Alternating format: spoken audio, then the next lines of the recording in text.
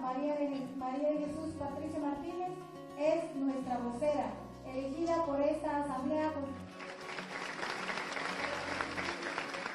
Ella es este, una mujer que, que tiene agallas para, para eso. O sea, ella tiene una voz para hablar por nosotros, los indígenas.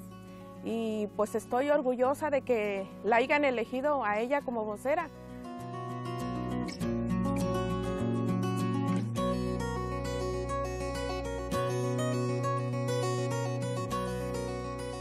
Hoy, María de Jesús Patricio es la imagen y la voz de medio centenar de pueblos indígenas y del Ejército Zapatista de Liberación Nacional.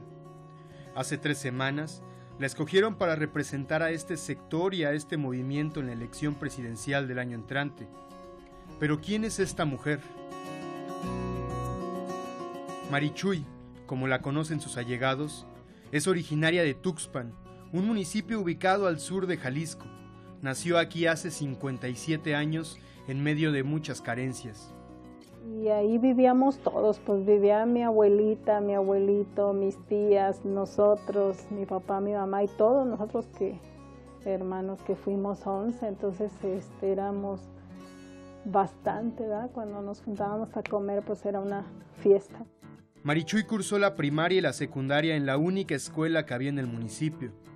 No pudo completar el bachillerato porque trabajaba para ayudar a su familia. Su padre era campesino. Sembraba en tierras que le prestaba un terrateniente. La mitad de las ganancias eran para el propietario. Eso cambió la vida de María de Jesús. Una vez vi que no le salían las cuentas, pues que yo vi que salió mucho maíz y, y que al final pues le quedó una deuda de mil pesos en aquel tiempo y le decía, pero cómo este, cómo que le, que usted salió debiendo si yo vi que salió mucho maíz, le digo, no, que vuelvan a sumar, tal vez se equivocó, que sí, efectivamente que le este, salía debiendo mil pesos él a mi papá, no a mi papá él. Y ya sí le dio y le dijo que este pues que se cuidara, que no les diera educación a sus hijos, que porque si no al rato se les iban a echar encima él. Y ya eso me, me motivó a que tenía yo como que dije, es que eso no está bien y sabrá Dios cuánta gente está pasando igual. Entonces como que me llevó así como ir buscando más. Años más tarde, gracias a sus conocimientos de herbolaria que su abuela y su tía le habían transmitido, María de Jesús decidió fundar una casa de salud. Quería ayudar a la gente y así conoció a otras comunidades. Fui viendo que había más pueblos indígenas en todo el país, este, y que sus problemas también eran parecidos. Entonces yo dije, este es mi espacio, aquí es donde quería estar. Este, como que todas las preguntas que me hacía desde que estaba chica, como que decía, es que este, también ellos pasaron por lo mismo, pues. Entonces como que me identifiqué. A la familia de Marichuy le sorprende su precandidatura presidencial, pero aseguran que la apoyarán.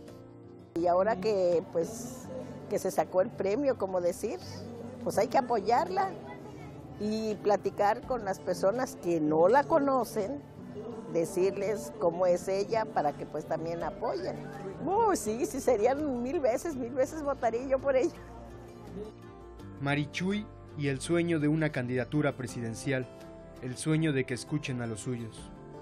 Pues los pueblos indígenas no figuran para el gobierno, ¿verdad? Como que no los ven, no los escuchan, no, no sé, hay ese abandono, pues así como que, este, pues no hay interés mínimo de, de tomarlos en cuenta.